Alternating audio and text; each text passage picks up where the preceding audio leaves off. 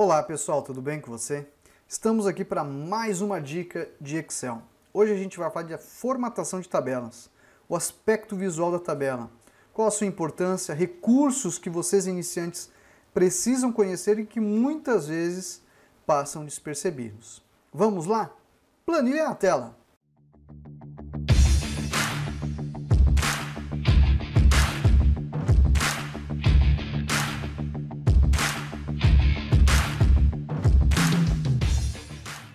Bom, pessoal, olha a nossa planilha aí. Eu tenho aqui, pessoal, quatro planilhas. Primeiramente, vamos detalhar a realidade do que acontece. Muitas vezes o pessoal está começando a trabalhar com Excel e precisa desenvolver suas planilhas. E quando a gente pede para a pessoa desenvolver a planilha, a realidade dela é essa. Ó. Ela começa a entregar a sua planilha como ela aprendeu lá na, no curso ou assistindo um vídeo, né? Mas ela não recebeu as orientações, né? Que até a gente passou ao longo dessa semana para vocês aí, logo no primeiro vídeo que a gente trouxe do ano. E aí o que acontece? Ela entrega algo assim. Aí você olha tudo, puxa vida, né? Eu esperava mais, né?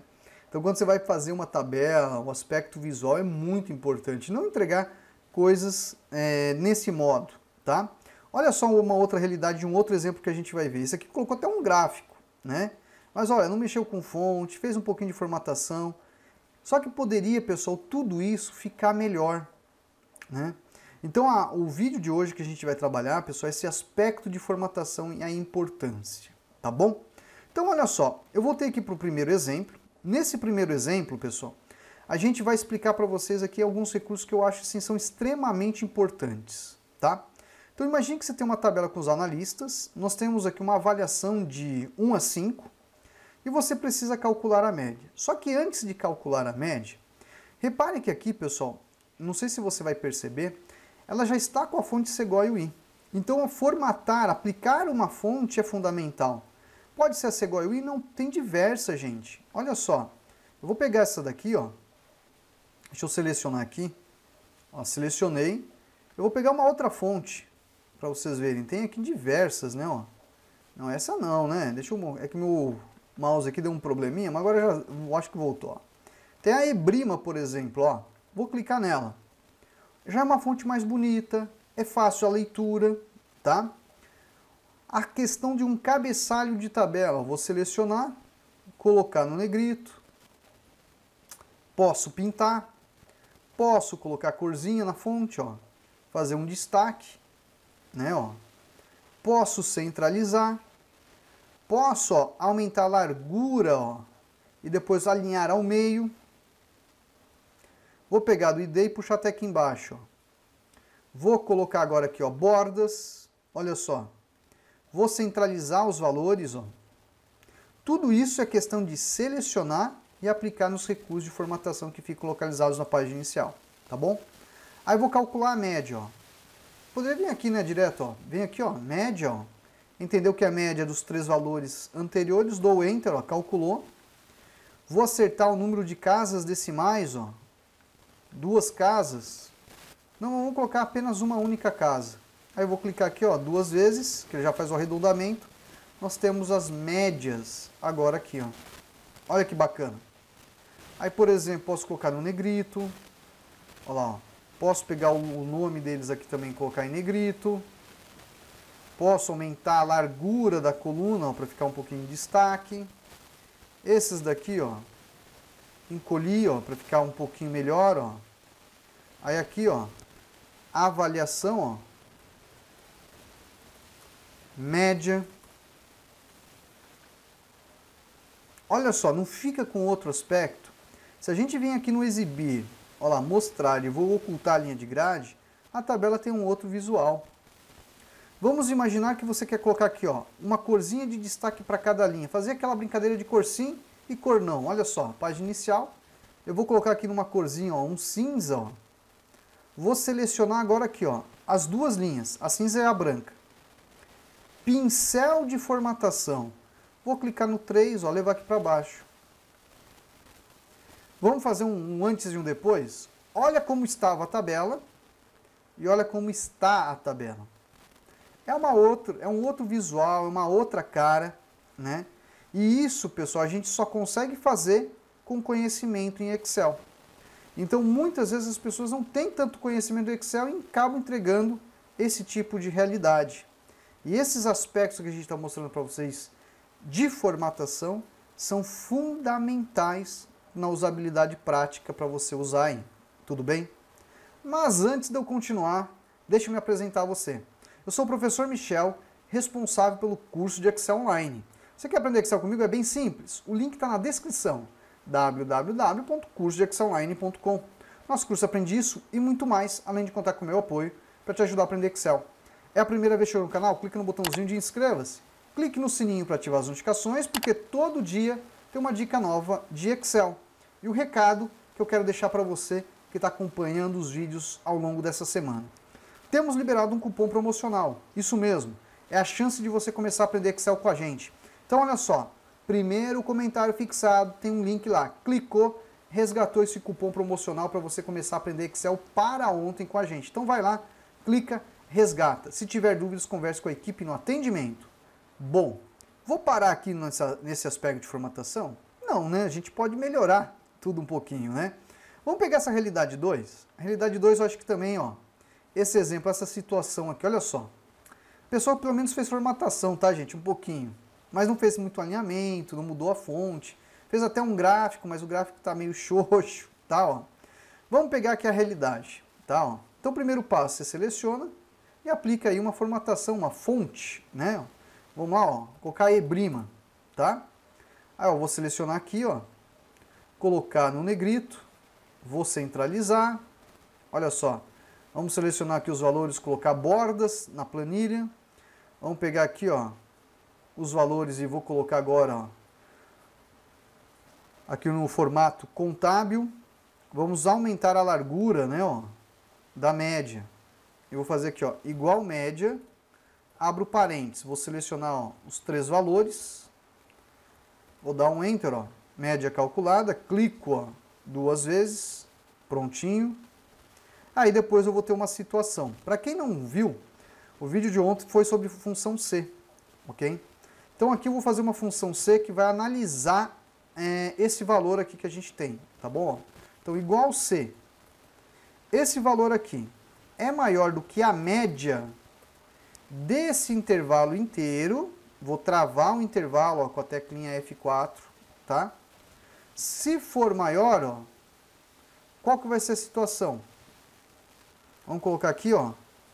Ok. Senão a gente chama de analisar. Tá? Ó. Tudo bem? Ao dar o Enter, a gente tem aqui ó, o status de OK. Em algumas vai ter a situação de analisar. Então vamos colocar ó, centralizar no meio, ó. Fica mais bonitinho, tá? Aí você olha assim e fala, puxa vida, o que mais eu posso fazer? Olha só, vou pegar a coluna, a coluna não, perdão, a linha 5. Vou aumentar um pouquinho mais a fonte, ó, vai ficar um pouquinho maior. Vou aumentar a altura, tá? Ó. Vou ó, alinhar ao meio, ok? Clico no ID e puxo até a situação, ó. Colocar uma outra corzinha, ó. Vou fazer na corzinha verde também, ó. Fonte eu vou colocar no branco. Aqui, ó, vou ajustar ó, a coluna de D. Aqui no nome do analista, ó, vou clicar e arrastar para aumentar um pouquinho mais, ok? Ó. Poderia pegar esses valores, ó.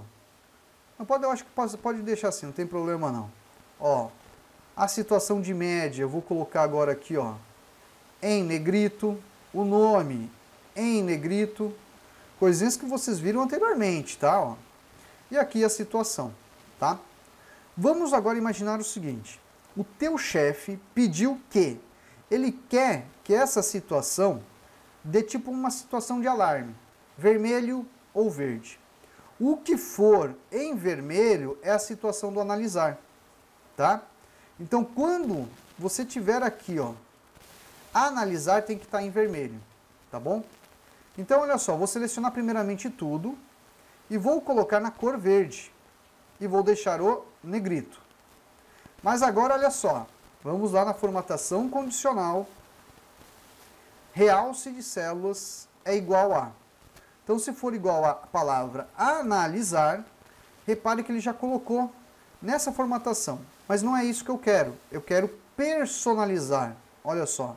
Tem aqui, ó, formato personalizado. Se eu colocasse apenas o texto em vermelho, já resolveria também. Mas olha só, eu poderia vir aqui em formato personalizado, escolher ó, a fonte em negrito e o tom de cor que eu quero. Olha só que bacana. Um exemplo para você. Tá? Ó, vou dar OK. OK. Prontinho. Aí o que acontece? Vamos imaginar que a Ana vendeu agora 18 mil reais. Olha só. Ela passou para OK. Mas outras pessoas, como mudou o cálculo da média né, nessa, nesse indicador, ficaram com a situação de analisar. Olha só. Vou colocar aqui, ó, 18 mil também para o Igor. Olha só. Ele ficou ok. Olha que bacana. Bom, deixa eu dar um Ctrl Z porque eu estou mexendo na média, tá, gente? Olha só. Então isso daqui é um exemplo que eu acho muito útil da gente entender a importância da formatação. Então isso daqui é uma formatação condicional que você pode aplicar na sua tabela para deixar né, com outro aspecto visual. Tá? Igual aqui, por exemplo, olha que bacana, vou colocar aqui ó, total. O total de faturamento, eu vou colocar igual soma. E vou selecionar esses valores aqui, os três primeiros valores vou fechar aqui, ó, tá bom? Vou clicar e arrastar, ok? Agora, olha que bacana aqui, ó. Vou lá na formatação condicional. Se eu fosse aqui na formatação condicional, ele tem um cara chamado barra de dados, ó. Ele coloca uma barra de dados aqui, olha que bacana. Tá bom? Mas antes de colocar essa barra, eu vou fazer o seguinte. Eu vou pegar a coluna de... Pode ser a coluna do mês de março, ó. Pincel de formatação e vou passar a formatação para essa coluna. Tá bom? E aqui, ó, vou selecionar formatação condicional. Vamos fazer a barra de dados. Ok? Ó, vou colocar uma barra de dados na corzinha verde. Aí o que vai acontecer? Se você não quiser esse valor aqui, você poderia vir aqui, gerencia a regra. E vai ter a regra da barra de dados. Ao clicar em editar, você vai ver que tem diversas opções. Então, por exemplo, eu quero só mostrar a barra. Vou dar OK. OK. Prontinho. A barra agora está ali. Olha que interessante agora aqui. Ó. Eu vou clicar ó, na tabela tudo bem? Eu vou colocar aqui um elemento de filtro. E eu posso agora filtrar aqui, ó, classificar do maior para o menor. Agora eu sei quem tem, ó, os melhores desempenhos, quem tem os desempenhos que estão ali em análise. Olha que bacana. Se eu vier aqui, ó, maior para o menor e menor para o maior. Olha que bacana um elemento que vai fazer com que a tua tabela ganhe um outro aspecto, tá? Vamos imaginar que você agora aqui, ó, vamos lá, ó, eu vou limpar o filtro, ok, ó. Nessa situação que você colocou o filtro, tá? Você quer colocar o valor aqui, tudo bem? Você vai lá, formatação condicional, ó gerenciar a regra. Vamos pegar agora aqui, ó, desta planilha, tá aqui a regrinha, ó. Eu vou editar ela. Eu vou voltar a exibir o valor, tá? Olha lá. Esse valor eu poderia selecionar ele e tirar um pouquinho do tamanho. Ó. Passo ele para o moeda e mexo com o alinhamento dele, ó, ficando um pouquinho mais na parte interna. Olha só. Seleciono os valores que nós temos aqui e deixo alinhado ao meio.